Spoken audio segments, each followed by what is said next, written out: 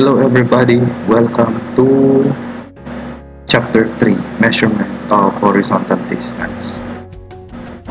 I hope you are having a good time no? learning the fundamentals of surveying. Okay, so for this chapter, we are going to talk about distance measurement.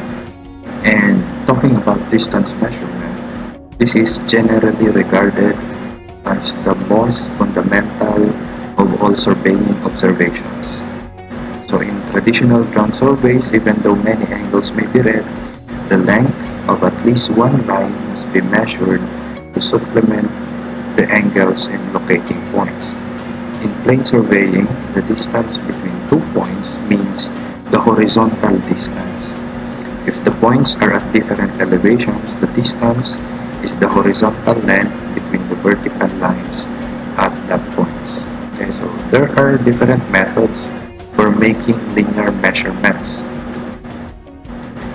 First on the list is um, pacing. Second is the odometer reading. We have optical rangefinders, geometry or stadia, substance bar, taping, and then electronic distance measurement, and satellite systems. So, although uh, napakarami anong methods uh, in making linear measurements. Uh, malat malimit na ano na ginagamit itong mga iba. Ang very popular na ginagamit ngayon is actually the electronic distance measurement uh, which is uh, one and the satellite system. So itong electronic distance measurement nakapaloob na siya sa ano sa mga total station na ginagamit natin ngayon. So ito naman sa sa satellite systems, may mga bansa na gumagamit na nito. But uh, in the case of uh, Philippines, I think uh, wala pa tayong satellite uh, satellite system. Uh, the US, Russia, China, Japan, and the European Union meron sa kanya, meron na silang kanya-kanyang satellite systems in global navigation. Okay? So, for this chapter, we are going to focus our discussion on uh, pacing, that's number one, and taping, number six on the list. Okay, so although hindi na masyadong ginagamit yung uh, mga methods na ito, itong pacing kasi it's a, it's a very valuable method ano? Kasi uh, wherever you go kahit wala kang measurement or measuring device you can use spacing. Although it's not uh, the accuracy or the relative precision is uh, very very small. Yung yung ano niya you can you can use it anytime. Pwede siya pang estimate lang ng distances. So, uh, so let us focus muna our discussion on pacing. When we say pacing, uh, we are actually uh, computing for our the, the, the, we are counting for the number of steps. Okay, so one step is one pace. Normality kahit nasa 20 pace, may isang hagda. May isang pace, may isang hagda. Okay, so let us look at the figure. This one.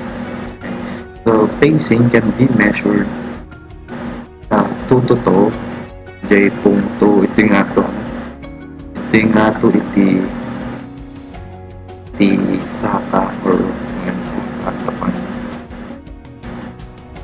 no tinang-measure lang sama ti pa or sama ti saka ito we call it the toe-to-toe distance. And pwede ding heel-to-heel ito yung likod. Pero the distance should be the same. Okay, that's one pace. Then, two paces is equal to one stride. Usually, ang ginagamit natin dito, kinocompute natin is the pace factor. Okay? Ang symbol natin for pace factor is PF and the pace factor is computed as the length of the line divided by the mean number of bases.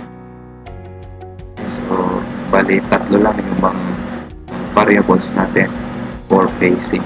We have the pace factor, the length of the line, and the mean number of bases. Okay, so, syempre, uh, itong pace factor, kaya nasa ulti pace factor, kasano iti uh, distance or kada yung itimize ang hanggang Okay, pace factor is measured in unit length per pace. Okay, so uh, customarily, ginagamit natin yung meter. No? So, pace factor is as a unit of meters per pace.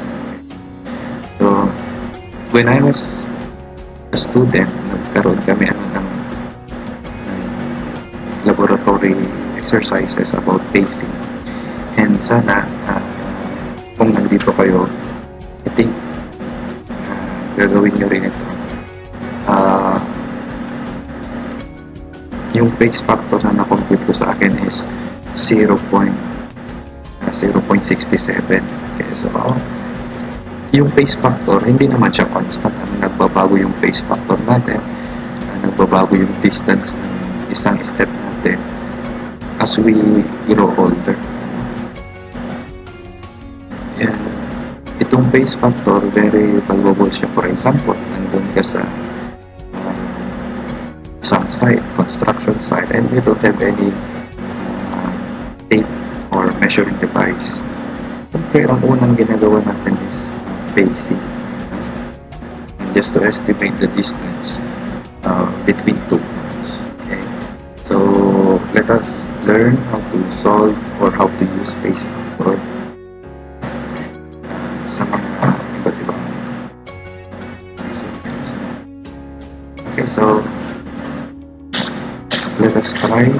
solve some problems involving pacing.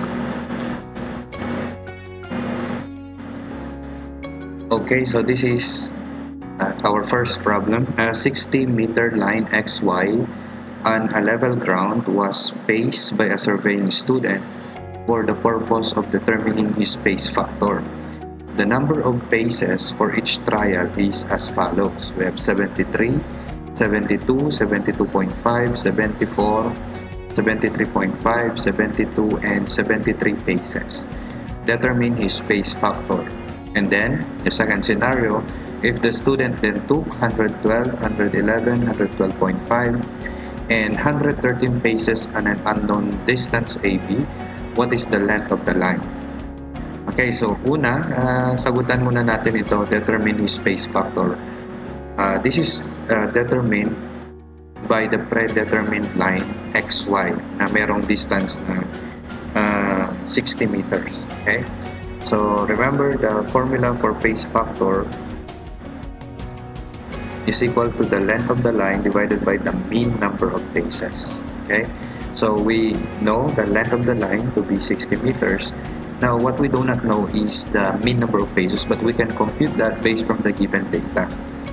Okay, so the mean number of paces the mean number of paces is just the average of these numbers right here. Ito yung mga number of paces niya. Bale na mean 1, 2, 3, 4, 5, 6, 7. Na mean 7 is una nga nagsubli-subli between points x and y to determine his space or pace factor. Okay, so for the first try, there are 73 paces. Second try, 72. Okay, so the mean is just the average of these numbers. So that's 73 plus 72 okay, plus 72.5 plus uh, 74 plus 73.5 plus 72 plus 73 okay divided by the total number of observations. So that's 1 2 3 4 5 6 7 okay so the mean number of bases in this case is equal to let us use our calculator here that's 73 plus 72 plus 72.5 plus 74 plus 73.5 plus 72 plus 73 divided by 7 is equal to 72.8571 to 4 decimal places. So that's 72.8571 paces. Okay, so therefore we can solve for the pace factor. The pace factor is just equal to 60 meters divided by 72.8571 paces. Okay. okay. Therefore, the pace factor is equal to uh, 60 divided by the answer. That's 0 0.82 to 2 decimal places. So that's 0 0.82 meters per pace. Okay. Ito ngayon yung distance for every step surveying student na yan. So, we now know the pace factor of the surveying student. Now, let us determine the length of an unknown line. Okay, for the second scenario, naglakad siya ngayon for four, uh, another four trials, di ba? So, uh, uh, there are 112 steps for the first try, 111 for the second try, 112.5, and then 113. Okay, let us determine the distance of this line AB. Okay, if we look at our formula, the pace factor is equal to length over the mean number of paces. We can actually solve for the length of the line in terms of the pace factor and the mean number of paces. Diba? So L is equal to the pace factor times the mean number of paces. Okay, so since alam na natin yung pace factor, the mean number of paces for a length AB So the mean number of paces for length AB is equal to, uh, let us get the average, 112 plus 111 plus 112.5 plus 113 divided by how many observation? 1, 2, 3, 4. So that's divided by 4.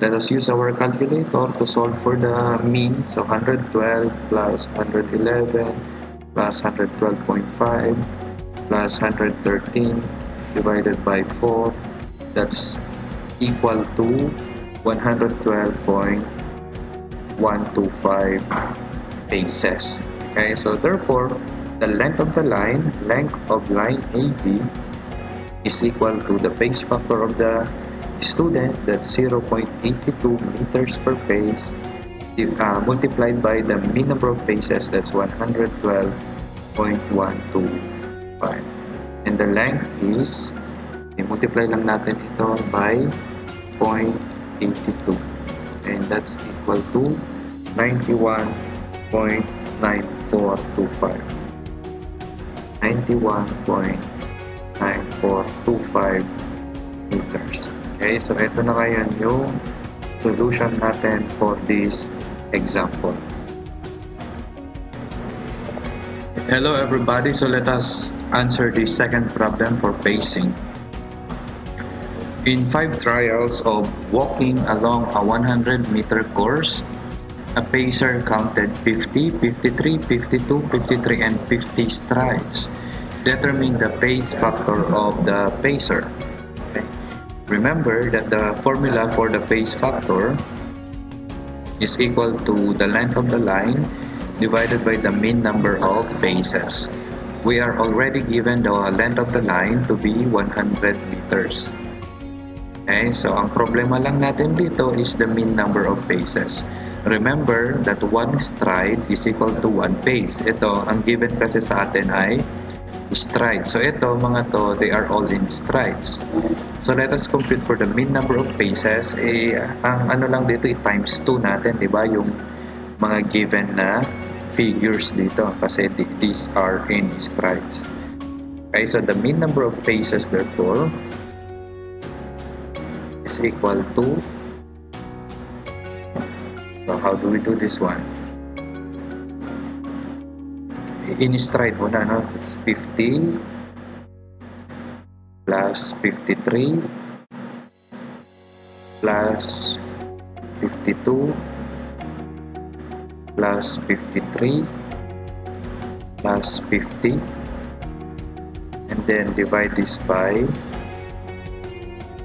divide that by 5 kasi 1, 2, 3, 4, 5 there are 5 observations. So let us use our calculator to solve for the mean number of uh, strides this one is in stride 50 plus 53 plus 52 plus 53 plus 50 divided by 5 equals 51.6 so this one is equal to 51.6 strides okay and then if we convert this to pace that's 2 times 51.6 that is equal to multiply natin itong sagot natin times 2 equals 103.2 103.2 paces. Okay now we have the L and the M. We can solve for the pace factor. The pace factor is just equal to the length of the line which is 100 meters divided by the mean number of paces in this case this is 103.2 paces okay therefore the pace factor is okay 100 divided by 103.2 okay so let us uh, round this off to two decimal places. So that's 0.97 meters per pace okay so this is the base factor of the given person in this specific example